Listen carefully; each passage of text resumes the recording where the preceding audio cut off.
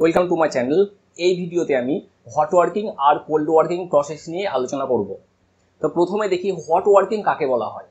Hot working হলো এক ধরনের মেটাল ফর্মিং প্রসেস যেই প্রসেসে আমরা কোনো মেটালকে অ্যাবাভ রিক্রিস্টালাইজেশন টেম্পারেচার এবং বিলো মেল্টিং পয়েন্ট টেম্পারেচার এই দুটো টেম্পারেচারের মাঝে কোনো একটা টেম্পারেচারে আমরা সেই মেটালটাকে হিট করি হিট করে তাকে ডিফর্ম করে কোনো একটা ডিজায়ার্ড শেপে নিয়ে আসি। এটা হলো আমাদের হট ওয়ার্কিং প্রসেস এবার দেখি যে কোল্ড ওয়ার্কিং প্রসেস কাকে বলা হয়।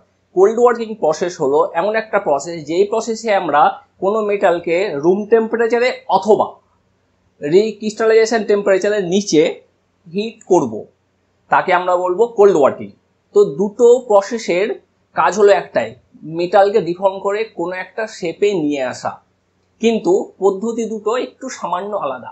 একটাতে হিট অ্যাপ্লাই করা হয় রিক্রিস্টালাইজেশন টেম্পারেচারের উপরে, আর আরেকটাতে রিক্রিস্টালাইজেশন টেম্পারেচারের নিচে হিট অ্যাপ্লাই করা হয়, অথবা কোনো হিট অ্যাপ্লাই করা হয় না। এই হচ্ছে প্রধান পার্থক্য। তো এবার দেখি যে কোনো একটা মেটালকে যদি আমরা হট ওয়ার্কিং করি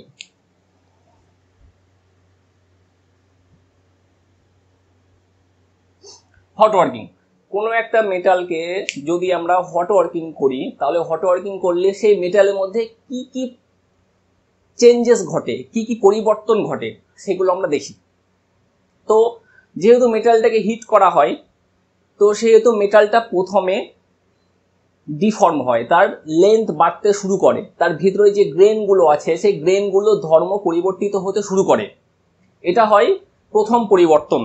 এইবার যে ভেতরে যে ইন্টারনাল স্ট্রেসগুলো থাকে ইন্টারনাল স্ট্রেস রিমুভ হয়, যে পোরোসিটি থাকে পোরোসিটিটা রিমুভ হয় আমাদের হট ওয়ার্কিংয়ে কিন্তু হট ওয়ার্কিং একটা জিনিস হয়, সেটা যে তার সারফেস ইম্প্রুভমেন্টটা খুব একটা ভালো হয় না হট ওয়ার্কিংয়ে এবার যেহেতু আমরা হট ওয়ার্কিং মেটালটিকে হিট করছি, সুতরাং এই ক্ষেত্রে আমাদের মেটালটিকে ডিফর্ম করতে অল্প স্ট্রেংথের প্রয়োজন হবে লো স্ট্রেংথে আমাদের কাজ হয়ে যাবে হট ওয়ার্কিংয়ে আবার হট ওয়ার্কিংয়ে যে টুলসগুলো আছে, সেই টুলসগুলোকে আমাদের হ্যান্ডেলিং করতে অসুবিধা হবে, কারণ যেহেতু সেগুলো হিটেড টুল আছে।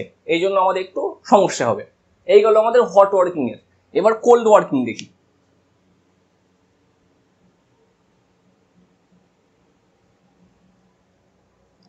কোল্ড ওয়ার্কিং মানে কি কোনো মেটালকে ঠান্ডা করা হবে?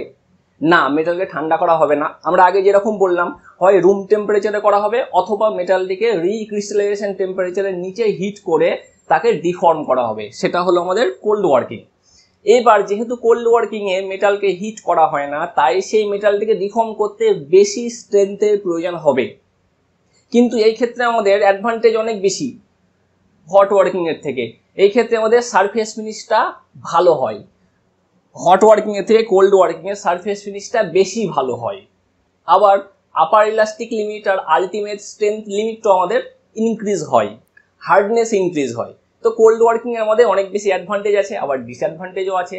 তেমনি আমাদের হট ওয়ার্কিংয়েরও অ্যাডভান্টেজ আছে এবং ডিসঅ্যাডভান্টেজ আছে।